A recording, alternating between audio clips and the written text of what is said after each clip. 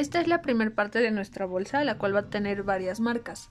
La primera va a ser de la parte que va a ir cosida a la cintura, sobre la parte que va cosida a la cadera, vamos a colocar nuestro centímetro de costura. Después de ese centímetro vamos a dejar tres más, que es una medida base de separación entre costura y abertura. De esta abertura hacia abajo vamos a dar 15 centímetros, que nuevamente es una medida estándar para abertura de una bolsa. Esta puede ser más grande o más pequeña dependiendo del ancho de la mano, más algunos centímetros de afloje para que sea cómoda introducirla. Esta bolsita a su vez va a ser cosida en la parte de la cadera del pantalón delantero, que es la contraria al tiro. En este lado también vamos a tomar en cuenta varias muescas que vamos a hacer coincidir con las de la bolsa. La primera, de la cintura hacia abajo vamos a marcar el ancho de nuestro resorte. En mi caso van a ser 3 centímetros. Vamos a simular la envoltura que vamos a realizar con el resorte. Estos 3 centímetros los vamos a doblar de la siguiente manera. Voy a hacer una marquita aquí en el doblez. En total, de la cintura hacia abajo serían 6 centímetros. Mi primer línea de el centímetro de la bolsa, que es el de mi costura, lo voy a hacer coincidir con esa marquita que acabamos de realizar, que en resumidas cuentas es lo doble del ancho de mi resorte. A partir de ahí acomodo mi bolsa en el costado. La puedo sujetar con alfileres mientras voy cosiendo la siguiente parte. Aquí en la bolsa vamos a tomar en cuenta las segundas dos marcas que realizamos, la de 3 centímetros y la de 15 que sería la medida de abertura. En el costado tenemos un centímetro de costura. Vamos a marcarlo. Un centímetro y un centímetro abajo.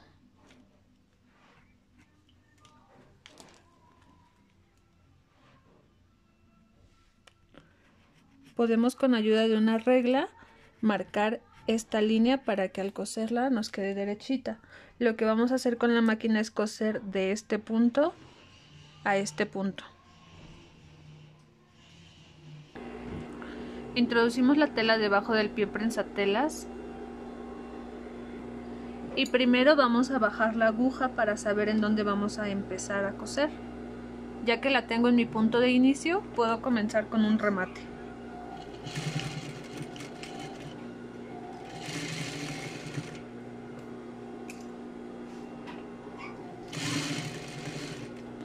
Y así continúo hasta llegar al siguiente vértice. Termino con un remate.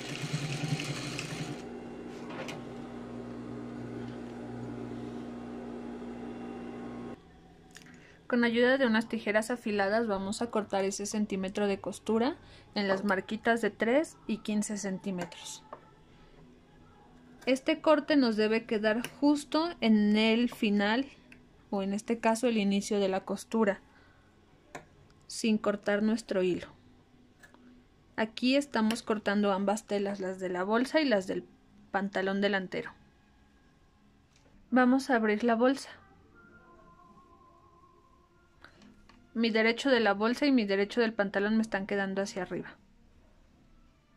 Voy a sacar las muesquitas de la bolsa para tomarlas como referencia y voy a realizar un pespunte a un 16 del lado de la bolsa, sujetando la costura del lado de la bolsa. Ahora para sujetarla voy a realizar este pespunte que va a ir a un 16 desde este punto hasta este punto, de corte a corte.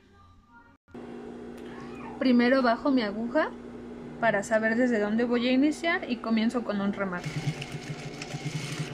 Continúo abriendo las telas para que no me quede ningún, ningún borde en el pespunte. Voy a continuar hasta llegar al corte. Y termino con un remate.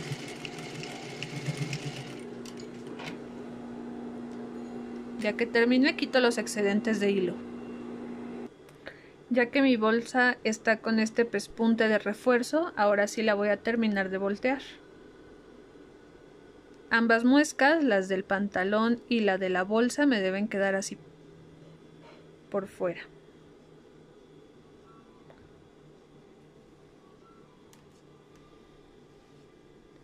Y en este punto, mi bolsa y la pieza de mi pantalón delantero me están quedando revés con revés, cara a cara.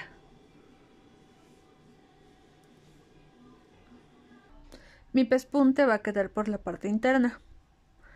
Ahora, por la parte que quedó por fuera, por el derecho de la tela, vamos a realizar un pespunte más a un cuarto de pulgada. Este va a ir nuevamente de corte a corte.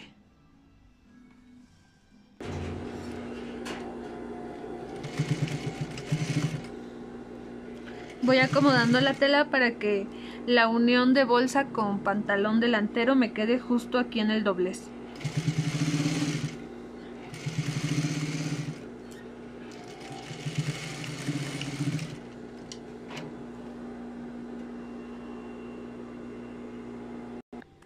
Así es como se ve este segundo pespunte. Ahora vamos a colocar la segunda parte de nuestra bolsa. Voy a voltear mi pieza. Ahora voy a estar ubicada en la parte interna. Voy a ubicar la segunda pieza de mi bolsa derecho con derecho, haciendo que coincida en su forma. Por ejemplo, la parte que tenemos eh, inferior está redondeada, entonces esa es la parte con la que vamos a hacerla coincidir. Derecho con derecho de la bolsa. Esta es la parte que, tenemos en la cintura. Nos debe coincidir totalmente.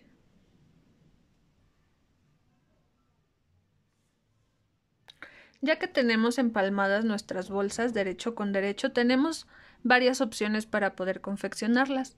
Vamos a ver por lo menos dos.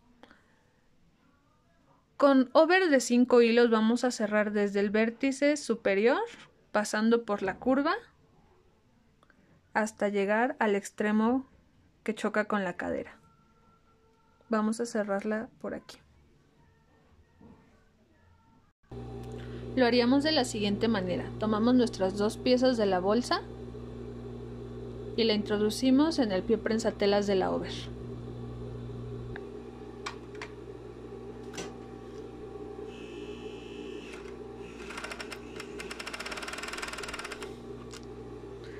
Y vamos contorneando el, el costado. Le damos forma aquí a la curva.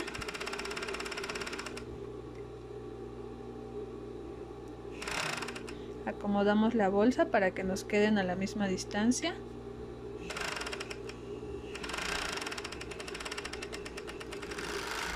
Y cortamos excesos de hilo. Así es como nos quedó la costura de over. Lo único que tendríamos que hacer aquí sería sujetar con una puntada recta la parte del costado. Del corte hacia arriba y del corte hacia abajo hasta llegar al borde de la bolsa con over.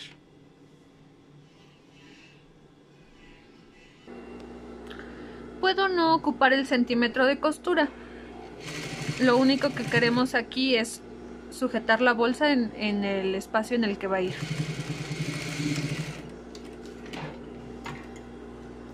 Ya cuando unamos nuestro delantero con nuestro trasero vamos a darle un mejor terminado. Aquí solamente estamos deteniéndola. Ya di en la parte superior, ahora voy a la parte inferior.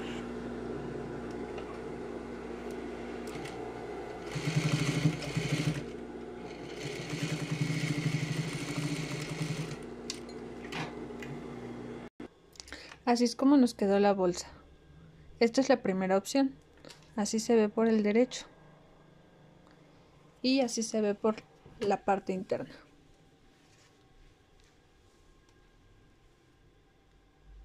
Ahora vamos a ver la segunda opción que tenemos. Para esta forma lo primero que vamos a hacer es sujetar con alfileres todo el contorno de la bolsa. por la parte superior, por el costado, por la curva y por abajo.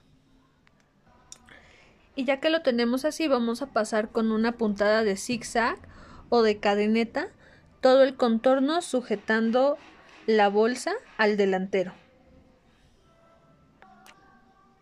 Esta puntada de zigzag o de cadeneta la vamos a realizar justo en el borde de nuestra bolsa.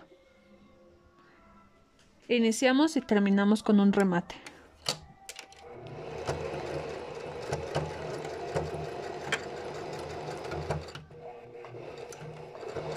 Para esto ya debimos haber medido el ancho y la forma de puntada que más nos gusta. Para ello sugiero realizar una prueba antes de empezar esta puntada para poder decidir con mayor exactitud qué es lo que vamos a realizar en este paso.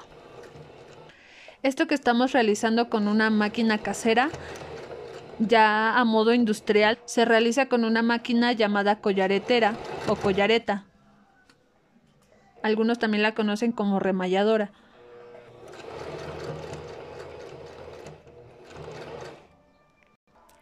Aquí ya llegué a la parte curva y mi costura, mi puntada va a seguir esta misma línea curva. Voy a respetar la forma de la bolsa.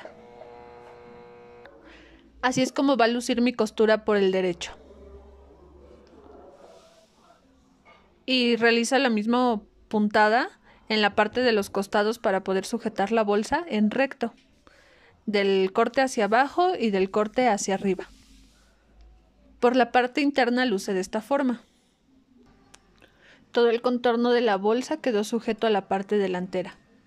La primera forma que vimos con over es la tradicional y también como estamos notando algunas diferencias, la que cerramos con over únicamente queda el terminado por la parte interna y por el derecho no se ve nada, a menos de que ya teniendo la over querramos fijar la bolsa con un pespunte recto. Esa también sería otra opción. Ahora que ya vimos algunas formas de colocar la bolsa, vamos a decidir cuál nos agrada más y colocamos la bolsa del lado opuesto, de la misma manera.